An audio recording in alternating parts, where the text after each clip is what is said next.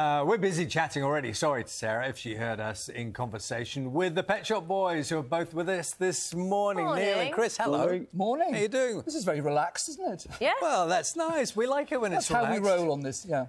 Tell, tell me and uh, share with us. Is this nice for you to be doing press? Uh, do you, do you like the whole thing of, of putting yourself out there? It's a duty, but we, we try to enjoy it. Uh, I mean, this is our 15th album. Yeah. To have got to that phase seems incredible. I remember in 1985 we signed a deal with EMI Records in those days, and it was for seven albums. I remember when we signed it, I said, like we'll ever make seven albums. Because to make one album back in the day seemed like a big mountain to climb. And here we are. And here we are at 15, yeah. And Came with an album this sofa how many years ago with um, what was she called? Oh, we should check. When, was when, really how- great. approximately how was long really ago? Oh, Selina Scott. Selina Scott. Oh, okay. So, so we've been doing this for quite a long time. That was our first BBC breakfast appearance, and what was really great about it was halfway through, Chris started a nod off. Well, it was very You early. didn't. It was very early. And Selina Were said, you being proper Selina like Scott said. Chris! were you actually asleep? Well, I, don't, I, I think I were. did close my eyes, but I don't think I was fully asleep. I think that's why you've got the glasses on now. So if you, Well, we I- bore I you, actually am you could asleep just- now. Yeah. Are you, yeah. one of the, are you one of those people who can kind of uh, just appear to be asleep when you're awake? It's quite a knack if you can do that. I could almost sleep standing up if I if given half a chance. Just, I call that a superhero skill. I think it is you know, a really the special famous skill. designer Karl Lagerfeld, Yeah. no longer with us, always wore dark glasses. The, the story is he used to do that. Just fall asleep. to be this rigid Rus- uh, Prussian, you know, upbringing, and he'd be sitting uh, ramrod, but actually he'd be asleep. You know what's going to happen now, Chris? The audience is going to be glued Yeah, to you, you. to look for signs of signs of activity. You're here to talk about uh, your new single, your new album. Yes. Let's let people have a look at that first. Okay. The new single. Okay. In the streets of London, sang with pop stars. Well, the truth is that they always do. Do you want, who wants to explain the, the video there, and the images, and the storyline? The song is, uh, well, Chris wrote the track. In lockdown, in the various lockdowns, Chris and I would send each other music, and I, or Chris would send me music, and I would send him lyrics back. And he sent this track through, and it sounded a bit like Madonna. And, um, and I was thinking about dancing. And there was a documentary on the television about Rudolf Nureyev, the ballet dancer. And the song became about him. And, you know, he, an amazing life, the Soviet Union, defected in Paris, became a huge star in swinging London, you know, knew Mick Jagger and Freddie Mercury, and and um, and the song says, you know, in the '60s you could feel the freedom, and so the song is really about about freedom through creativity. Um, there is a link, isn't there, with the arts in, in the sense that you've got him there. You're going to be performing at the Royal Opera House. on the same stage. Actually, the cover of the single, uh, Dancing Star, is a photograph we got from the Royal Opera House, and it's Nureyev on the stage of the Royal Opera House, and we're doing five nights there in the very end of July this year. I think it's quite interesting because you, there's more money to be made at the big stadium, surely. But the There is- atmosphere. Way more money to be made. We could play the O2 Arena for one night and made. We, we actually we don't make Royal Opera House. Um, but why we do it is because it's a gorgeous theatre, maybe the most beautiful theatre in Britain, and um, we bring in a completely new audience, and they get to enjoy this gorgeous theatre.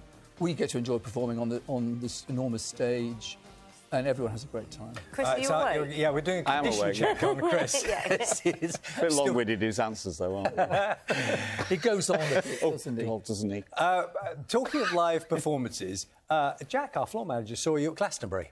Uh, Jack, that's right, isn't it? Oh, God. And he very much enjoyed Hashtag it. the worst moment of my life. Why? No, he said it. Oh, yours. Uh, My, yeah, well, I don't think it was great. Well, for not Chris his. Yeah, or Yeah. was No, it? I thought you were talking or about was it that. the He worst- said you were worst brilliant. moment of his Oh, life? no. What happened? Well, actually, the audience probably didn't notice it turned out. So, in our show, same one we're doing the Royal Opera House, there's a screen, and then the screen goes up briefly, and Chris and I appear and walk forward. Glastonbury, of course, is live on the television. We were headlining the other stage on the Saturday night, uh, or Sunday night maybe, and there were 70,000 people there. And the, the screen rose by about 10 inches and stopped. And we just looked at each other. And we couldn't talk because you have the music in your headphones. Huh? And so we both made a dash for it. And I ran around the front, and Chris couldn't get to his front keyboard in time. So he went to a keyboard position, he had second keyboard position at the back.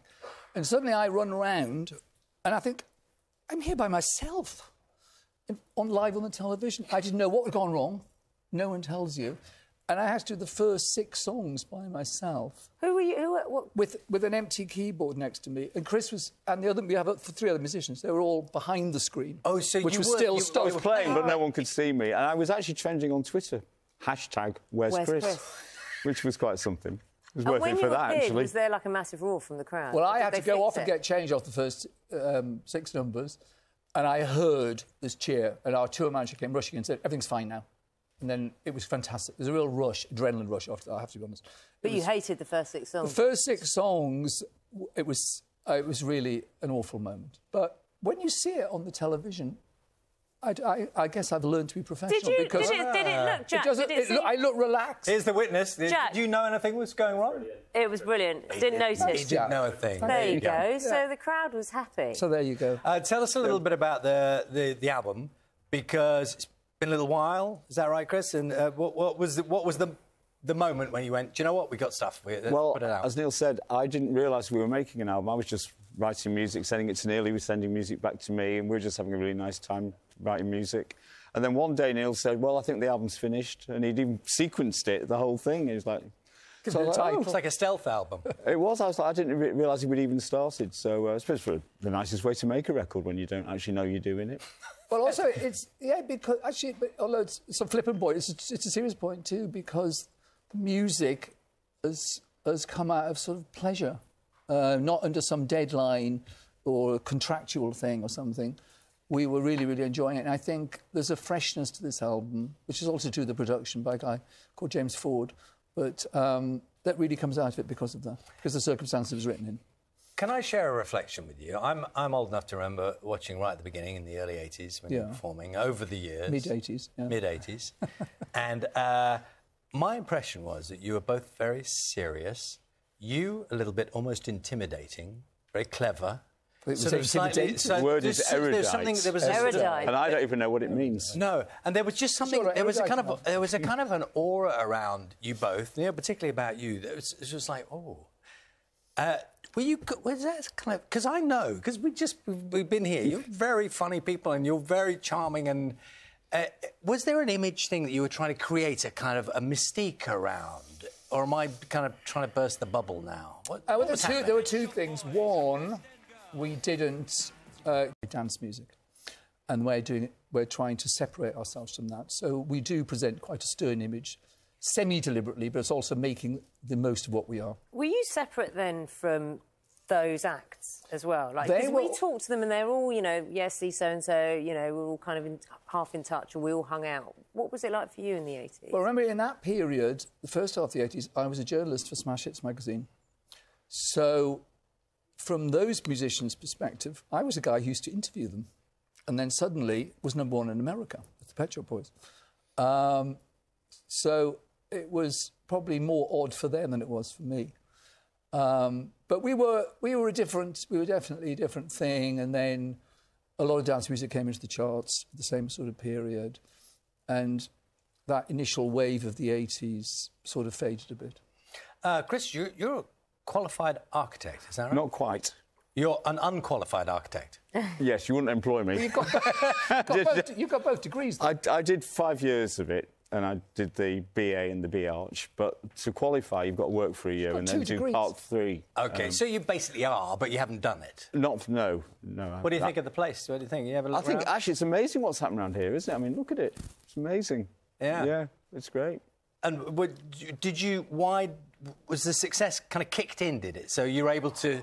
Well, actually, I different sort of um, when I went back to do the B Arch, um, the Pet Shop Boys was happening, and I was sort of flying off to New York at the weekends to um, record with Bobby Orlando at Times Square, and it was so exciting doing all of that. It was very difficult to come back to Liverpool and carry on doing architecture, so I sort of slightly lost interest towards the end of the course, really, because the Pet Shop Boys was beginning to happen. But didn't you say when you were doing like a tutorial, they would ask you about the Pet Shop Boys? Oh, it wasn't a tutorial. It was the final um, handing of the work, and the examiners came along, and they seemed more interested in the music than anything else. Um, Did you which get a was, good- I actually managed to scrape, scrape through with, with very little uh, work, actually, to be honest. Well, we won't. We won't have. But we won't do that 'cause I No, wouldn't 'cause you- encourage that. Obviously, you have to work very, quite very hard. right. I think you should. Um, with the new music now, the new album, I think you there is an essence. Like you know, it's the Pet Shop Boys. Do you kind of do you have to work at that, or is that just it's inevitable? I inevitable? think we have to work at not making it like that. Oh, that wasn't a criticism. I like No. the fact that I no, know no, it's. No, no, I, di- I didn't take it as a criticism. Ah. Um, I think that's what we instinctively sound like. I think it's a combination of music and the, the voice. Um, and we do try to change the sound. I think if we made a heavy metal record, people would say, there they go, typical Pet Shop Boys. It's, um, there's something we do to do with the style of chords, and there's always a sort of rich chord progression, and my vocals that, that, that, that creates that. Uh, So many of your hit songs over the years are kind of markers on people's lives, moments in time, significant things. Do you have people sharing those kind of stories with you, saying, "Oh, that song reminds me of"? We do. Um, we even have it in our sort of circle of people we work with. People who've got Es Devlin, quite famous stage designer now, met her husband working on the Pet Shop Boys musical. And actually, there's, there's actually a load of instances like that. And also, we did the show we're doing, um, Dream World, the tour, which starts again in, in May. Uh, it's a great hit show. And so for me, singing the songs, each of those songs brings back a lot of memories and back back in the time. And it, and of course, it's so many decades now, which seems sort of amazing. Um, so it's, it's, it's like that for us as well. Chris, does it all come back? You know, when you do the older stuff, does it is it all just like n- completely instinctive? It's all embedded in the kind of muscle memory. Sadly not. Um, I have everything um, on the computer screen because I can't remember anything. And even we do uh, Paninaro, which is I do a very little minor vocal on, which is only six words, and I have them written down. Do you really? Yep. and, and when they come in as well, so none, none of it is instinctive for me. That's honest. That makes a lot of sense. Yeah. I think that makes a lot of sense. mistakes. I'd do that. If I don't make any mistakes. I'm sight reading the whole show. I always think it's amazing that classical musicians, if you're playing a, a violin concerto, the orchestra got sheet music. You're playing the violin concerto or piano concerto, or whatever. You have to memorise the whole thing. I know. I don't know how they do it. I know.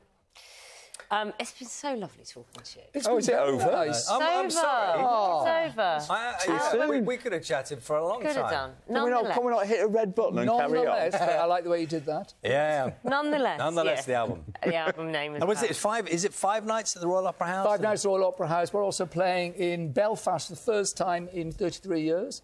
Um, Nottingham, Manchester, Glasgow, Birmingham, uh, Europe. Um, so, yeah. Enjoy. Lovely to see you, uh, Chris. Thank you for was staying fun. with us. Thanks for staying away. Yes. Take it. We're Thank you. That, The least taking I that. could do. Um, we will be back. Of course, breakfast will be back tomorrow from six. Do enjoy the rest of your weekend. Bye bye.